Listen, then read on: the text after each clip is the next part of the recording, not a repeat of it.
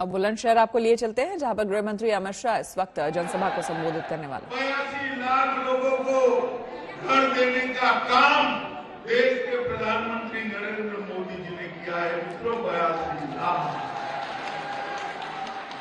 मुझे एक बात बताओ भाई आप में से कितने लोगों ने टीका लिया है?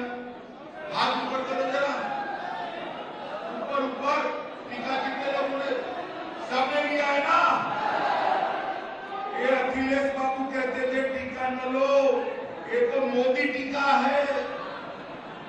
मित्रों अखिलेश जी ने ये टीकों को भाजपा का टीका कहा और कहा, मैं नहीं दूँगा। बाद में डर लगा तो भी लगा उन्होंने उत्तर प्रदेश की जनता को गुमराह करने का काम किया है। मित्रों, उनकी बातों में आकर उत्तर प्रदेश की जनता टीका न लेती। तो तीसरी लहर में हमारा क्या होता बताइए? तकलीफ़ होती या नहीं होती?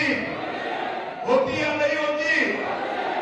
ऐसे नेताओं को शासन करने का अधिकार नहीं नरेंद्र मोदी जी ने देश के 130 करोड़ों को फ्री ऑफ़ कॉस्ट मुफ़्त में टीका लगाकर उनकी सुरक्षा करने का काम नरेंद्र मोदी जी ने किया है, मित्रों, नरेंद्र मोदी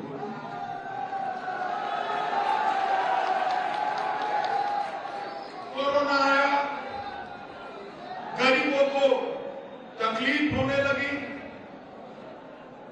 यहाँ पर